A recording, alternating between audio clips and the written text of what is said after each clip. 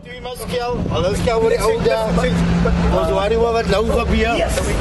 Hy's ou kak wat hulle skel. Maar die ding is hier, ons nou hier vir alle ding, ons bring nie ry nie. Ons staan nou hier. Ons sê nou hierso, ons is unhappy hier. Ons is nie unhappy, maar daai tyd is klaar soos. Ons het gesurvive daardie. Ja, daar's baie issues. Ons het nog lekker maggie.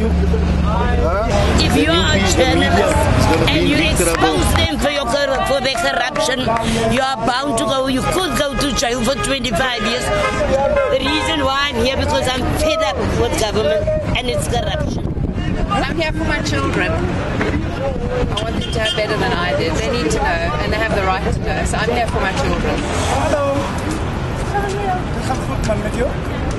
Julle lyk.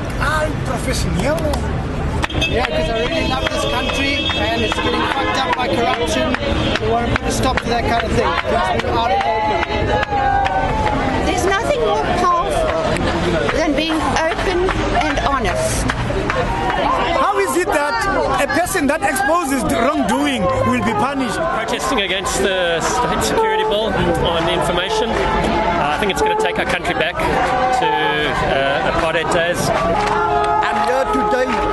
Fight for open and transparent government. We are here today to go against the secrecy bill. We don't want any secrecy in our country.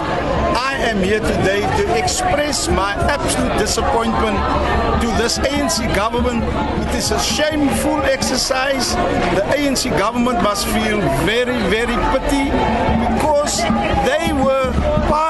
struggle against apartheid where this very same laws were in place and we stood up against it. And therefore, my presence here is a small contribution towards rejecting this secrecy bill. These are the reasons. All of you know. South Africans will say no. If need be, there will be people who will go to jail because they will have defied an unjust law.